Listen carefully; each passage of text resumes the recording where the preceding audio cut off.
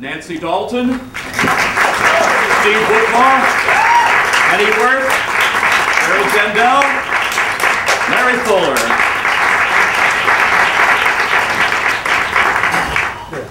All right, Larry, you did the Sophisticates on television. What do you remember of it?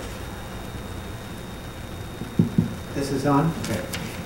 Unfortunately, not very much. um, I remember the lifts,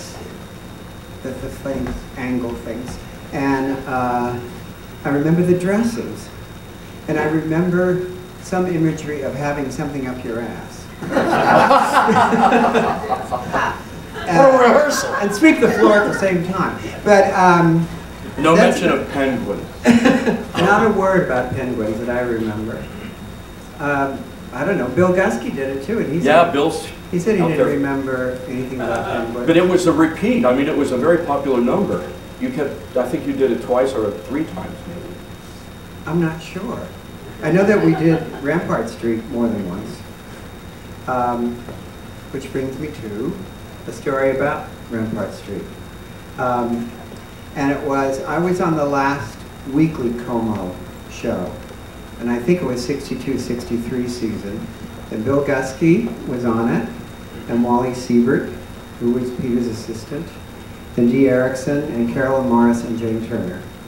Uh, unfortunately, Bill and I are the only ones still with us.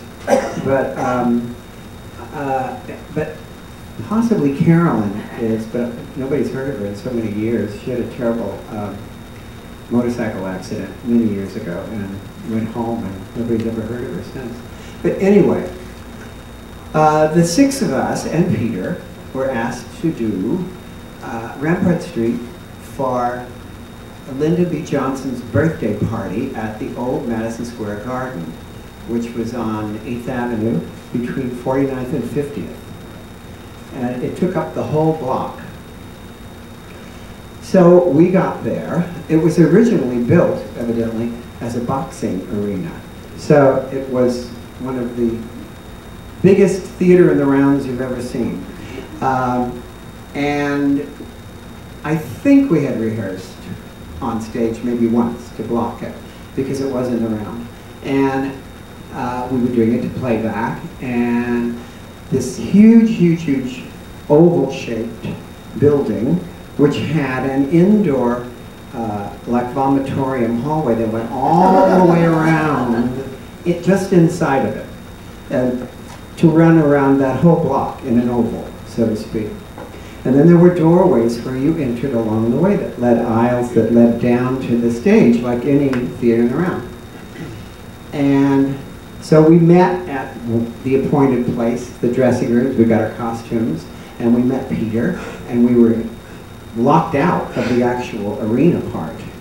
And because it was LBJ, the President of the United States' birthday, there were security guards on every door. And so, we met with Peter, and he said, okay, take, come on, come on, come on now, follow me. We're just gonna go over here, I think it's door number three. So we all got the costumes, and we had our, straw hats, and we followed Peter to the door, and the, security guard said, who are you, what are you doing here? Said, well, we've got this number, we're gonna do this number. Said, no, no, no, no, no, I haven't got clearance for you to go through here. So he said, oh, this must be the wrong door. So we went, ran down another door. Okay, this is it, kids. And then that security guard said, no, no, no, no, you can't come in here. You don't have clearance. Said, oh, well maybe, then follow me. So we, we finally got to a door and we started, to, we knew that we were about to be on. And Peter said to the security guard, but we're, we're in the show. We're just, we're gonna go on. So he just pushed past him and we followed him because the, the security guard said, if you go in there without anybody knowing who you are, you could get shot.